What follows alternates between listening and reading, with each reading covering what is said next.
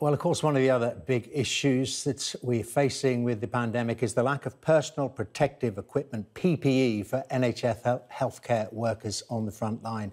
The Doctors Association UK are launching an app tonight to try to track the shortages of PPE and address them. And joining me now is Dr. Samantha Batt-Rawden, an intensive care doctor and president of the Doctors Association UK. Very good evening to you, Dr. Batt-Rawden. Well, tell me about the app and what it is intended to achieve. Evening, Dermot. Thank you for having me on to talk about this. Um, so, for the last few weeks, we've been hearing from frontline doctors about the severe shortage of personal protective equipment across the front lines. Now, we have been raising those concerns directly with NHS England as well as in the press to try and highlight uh, the situation on the ground. Things have improved, um, but certainly not quick enough, and doctors very much feel like they're putting their lives on the line without that protective equipment. So we've been raising the issue um, and we've identified the problem, and now we just want to be part of the solution. Um, so I've been off poorly myself with COVID symptoms. I've been self isolating and scratching my head thinking, how can we support our colleagues on the front line with this? So uh, the Doctor Association UK has teamed up with Messly, who are also run uh, by junior doctors, and we've come up with this app now, the tech guys over at Messly are absolutely brilliant. And what it allows us to do, um, it puts the power in the hands of doctors on the front line. So every single day, they can submit an anonymous report telling us what they're short of, whether that's masks or goggles or gowns. And we'll be able to produce reports from across the UK about exactly where the shortages are.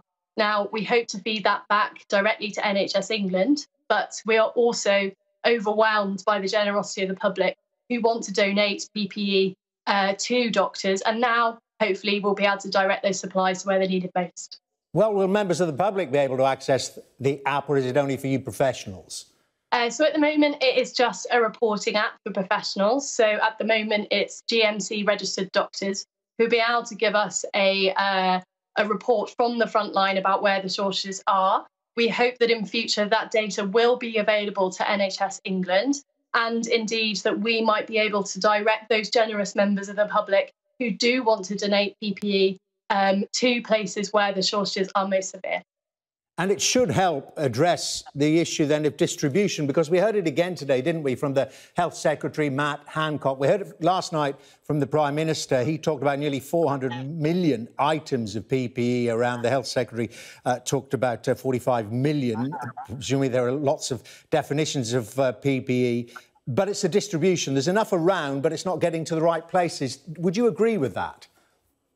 So we, we have heard that line um, again and again and again. Um, the bottom line is that that personal protective equipment is is not getting to that front line in some places, and that doctors and nurses are having to improvise their own um, personal protective equipment out of bin bags. That GPs have had to put calls out on social media uh, to ask for donations, and that some doctors have ended up going to Screwfix or buying their own uh, respirator masks off eBay.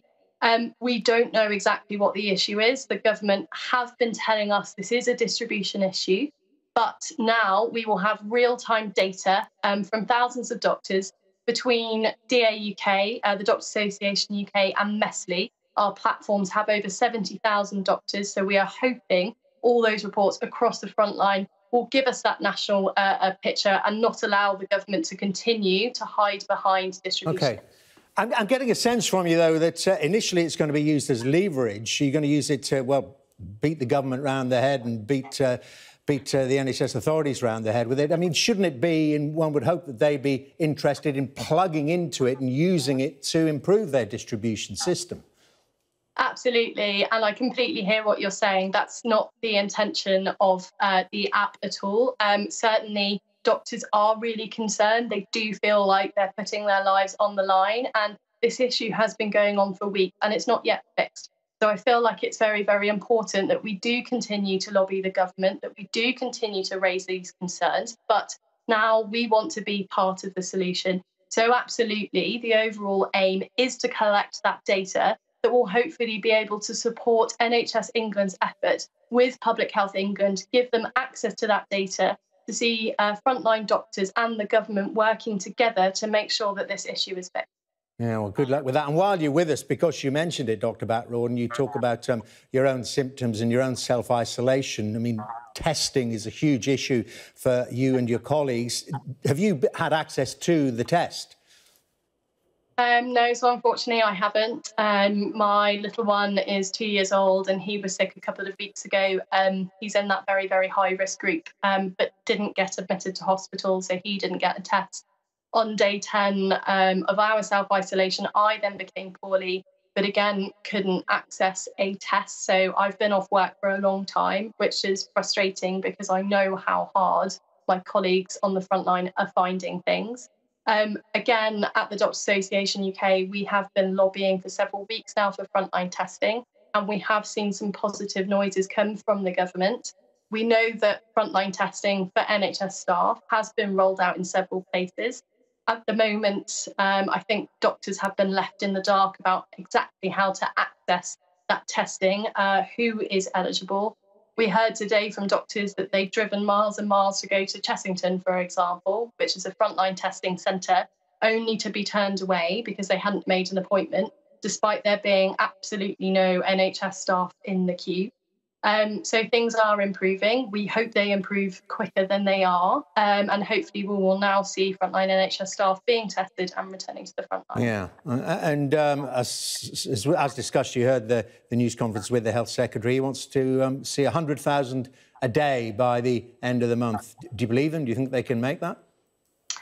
Um, I hope so. Um, I am not sure. We have seen promises from this government on testing. Um, that haven't yet borne fruit. Um, in particular, frontline testing, we first had that announcement three weeks ago, and only now are we starting to see frontline NHS staff tested, who have, some of whom have been off for weeks and weeks. So, you know, I, I am glad Matt Hancock is better, and we give our best wishes uh, to the health secretary, and we hope his his plan or his five pillars do work. But the litmus test for us uh, will be when frontline doctors on the ground tell us that this is happening. Well, Dr. Batt-Rawden, uh, great talking to you. You get well soon, uh, and best of luck with the app. And maybe um, while you're with us, you might share some of that data with us when it becomes fully operational. But thank you very, very much. Very happy to, Dermot. Thank you.